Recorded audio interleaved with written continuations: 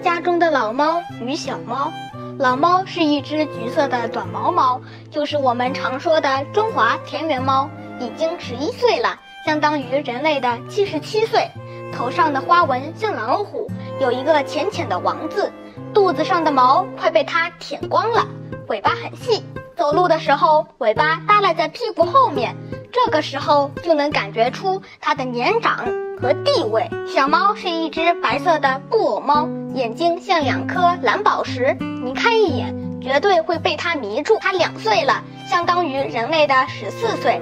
头上的花纹是山形的，全身长满了毛，一边走路还一边掉毛。粗粗的尾巴，走路的时候尾巴竖得高高的，像在给喵星球发送信号。